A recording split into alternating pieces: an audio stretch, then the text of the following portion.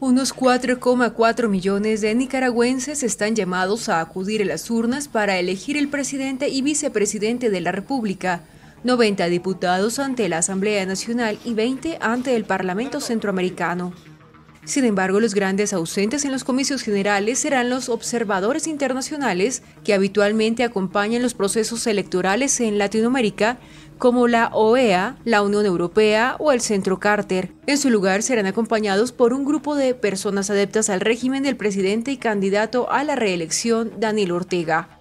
Según la canciller Denis Moncada, el Ejecutivo nicaragüense decidió no invitar a la Organización de Estados Americanos por haber participado en la promoción y ejecución de un golpe de Estado contra un país democrático como es el caso de Bolivia.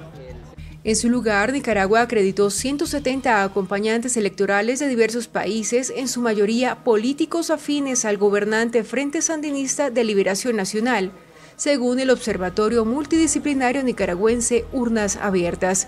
Entre dichos acompañantes figuran el representante del Movimiento del Socialismo Allendista de Chile, Gregorio Luis Mondaca Cresto, y los miembros del Partido Comunista de España, José Luis Centella y Miguel Ángel Bustamante.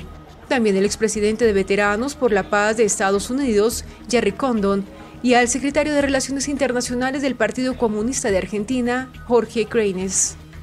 Según el sociólogo nicaragüense Humberto Belli, la ausencia de observación muestra la falta de transparencia del proceso. Además señaló que Ortega está preparando una mentira colosal en los comicios del domingo en cuanto al nivel de participación, por lo que además se ha prohibido la entrada de misiones periodísticas al país y no acreditarán a la prensa nacional y extranjera en Nicaragua para que tengan acceso a los centros de votación.